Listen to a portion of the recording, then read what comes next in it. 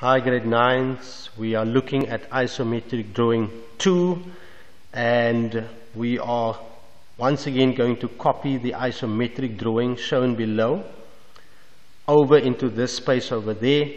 We are going to start at A which is right here at the bottom which has been marked for us and we are not going to copy any of the dimensions onto the drawing but we are going to use the dimensions to guide us to get to the required shape that is needed.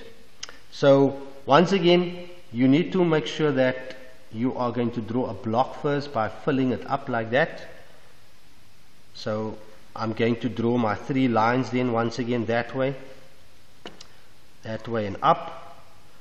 And then I'm going to have this 50 along this side now I'm going to have 70 along that side here. I Just want to straighten that a little bit so it's going to be 70 that way, 50 this way, and I'm going to go up by 70 as well.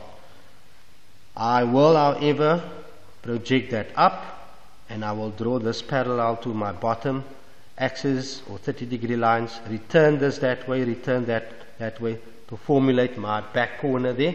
Now I've got my box as it is here. Now I'm going to remove these parts here by identifying this first and the top part, the sections here and the top part. So I'm going to go up by 20 and draw it that way and draw it that way. And then I'm going to have these slots of 25 and 20 here.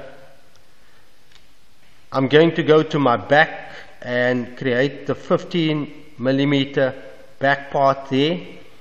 And then of course, I'm going to create the same slots as I have here, which is 25s on the side, which gives us 50, and the 20 in the middle, which gives us 70.